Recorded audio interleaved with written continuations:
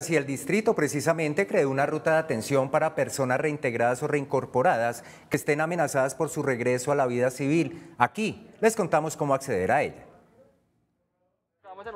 La Secretaría de Gobierno brindará atención psicosocial, jurídica, subsidio de arrendamiento, de transporte, de alimentación y kit de aseo. Por primera vez, Bogotá cuenta con la ruta para la reintegración y la reincorporación de las personas a la vida civil, que estén siendo hoy amenazadas a su integridad física o incluso a su vida. El apoyo será hasta por un periodo de tres meses mientras la unidad de protección toma las medidas correspondientes para cada caso. Las personas que quieran acceder a esta ruta por la reconciliación deberán escribir un correo a ruta por la reconciliación